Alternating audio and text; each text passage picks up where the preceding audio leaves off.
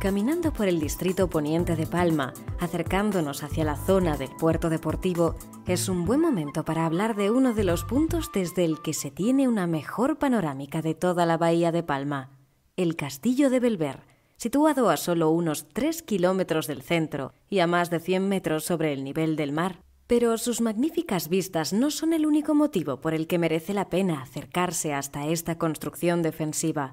El castillo de Belver, con un aspecto más palaciego que militar, es uno de los pocos existentes en Europa con planta circular.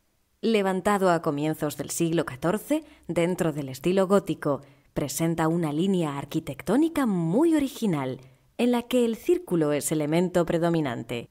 Son circulares su patio, los cuatro garitones, la torre del homenaje y los tres torreones defensivos.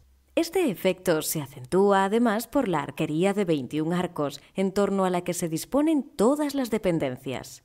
El castillo de Belver, cuyo nombre procede del catalán antiguo Belver, que significa Bella Vista, acoge la sede del Museo de Historia de la ciudad, con piezas arqueológicas y de colecciones de arte municipales.